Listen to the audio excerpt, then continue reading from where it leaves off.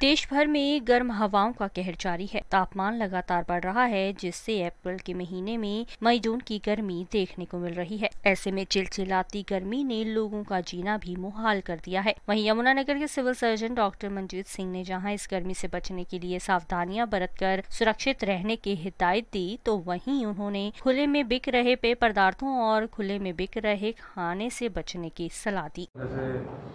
जी जैसे आपको पता है की तापमान बढ़ गया है और हमारे पास जो हम जिसको कहते हैं कि वाटर बॉर्न डिज़ीज़ का ख़तरा इस मौसम में बढ़ जाता है। वैसे तो हमें हर मौसम में अपनी सेहत का ध्यान रखना चाहिए, लेकिन ये मौसम क्योंकि गर्मी का होता है, मक्खियाँ पनप जाती हैं, मच्छर होते हैं तो हमें जो वाटर बॉर्न डिज़ीज़ के साथ साथ मलेरिया और डेंगू आने टाइम में महीने बाद जो डेंगू का सीज़न शुरू होगा मच्छर का तो उसके बारे में अपना जो दिनचर्या है, उसे बनानी चाहिए। तो अमूमन गर्मी के मौसम में आपको सूती वस्त्र पहनने चाहिए।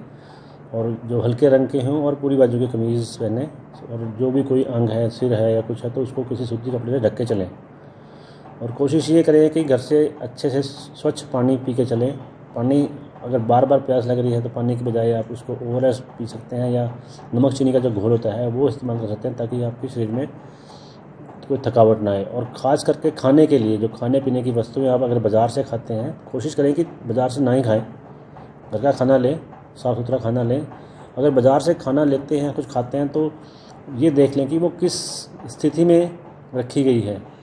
कहीं वो खुली तो नहीं है, कहीं मक्खियों के उसमें तो नहीं है वो।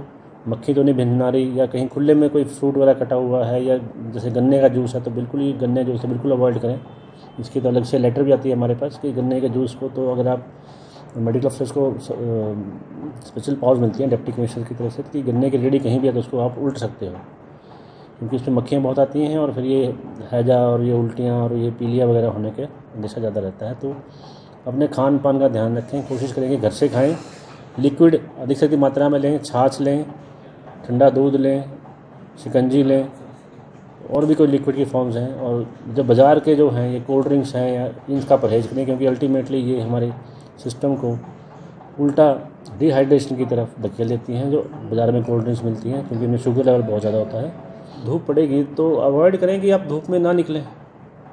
या आजकल तो सबके पास अपने वाहन हैं, दोपहिया वाहन है तो अपना पहले सूती कपड़ा बाँध के फिर हेलमेट पहने और पूरी बाजू के मैंने वो जो बताया, पूरी बाजू के कपड़े पहने तो ताकि आपका जो धूप से और गर्म हवा से है, वो सीधा टकराव ना हो।